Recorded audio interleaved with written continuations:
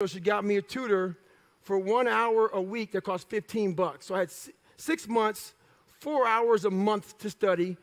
And what the tutor realized was I can't retain anything from all the toxic stress. I don't know if it's a learning disability or what. I just can't retain stuff.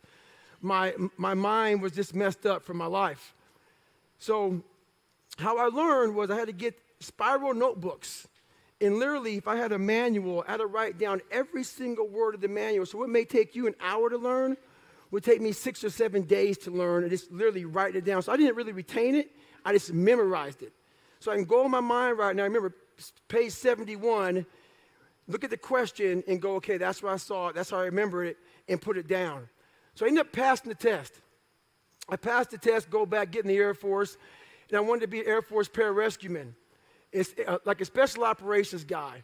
And I didn't know that um, blacks in water, uh, not so much.